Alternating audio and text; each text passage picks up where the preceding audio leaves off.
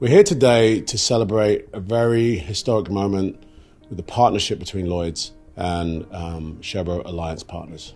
Lloyds working with Sherbro Alliance is exactly the type of partnership that we've been looking for um, and exactly the right ambition. Siaka Stevens and I have had this ambition to build a West African smart eco city that um, attracts the West to come and see the beauties of West Africa, but not only that, to give Africa, you know, its first smart city.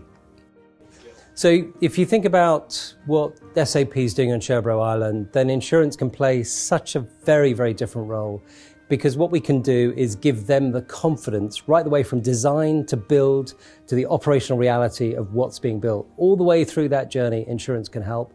It could also help with some of the financing, some of the risk assessment, and some of the broader considerations. This project is significant for West Africa.